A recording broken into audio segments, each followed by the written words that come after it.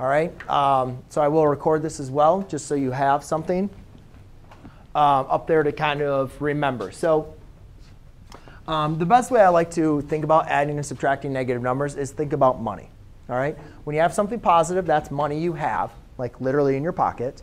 And when you have something negative, that is money you owe or money that you're going to pay out. Um, so obviously this would be like five, and then you're bar- taking away, you're going to owe four dollars. So if you have five dollars and you owe somebody four dollars, therefore how much money are you going to have left after you pay them out? One dollar, right? Subtraction. That's going to be simple.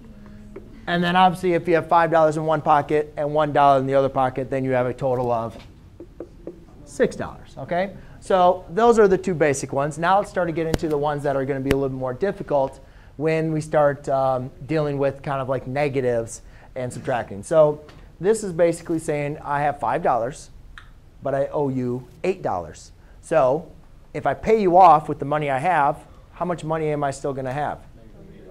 Zero, right? And I'm going to owe three more dollars. So 5 plus a negative 8 is a negative 3. And the basic rule is when you're adding and subtracting negative numbers, um, the lar- whichever number is larger, that's what's going to be the sign. So if you're adding positive, negative numbers, one number's positive, one number's negative, you're adding them.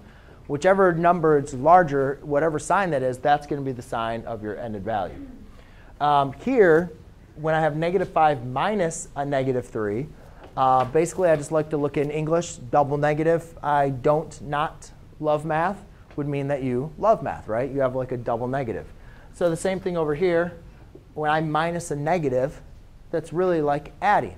So negative, so if you owe somebody negative $5 and you have $3 in your pocket, you pay them off and you still have owe 2, right? You don't have $2, you owe them $2. Um, here, I owe you $5, and then today I borrow 2 more. So how much money do I have? I now owe you 7, right?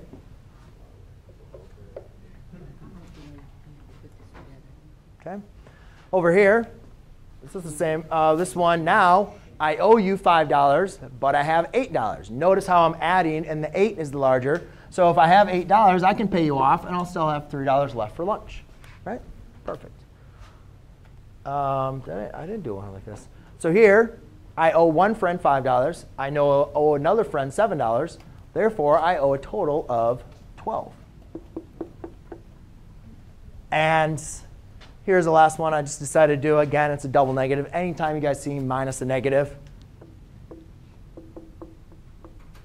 nice. Okay. Any questions? Any questions?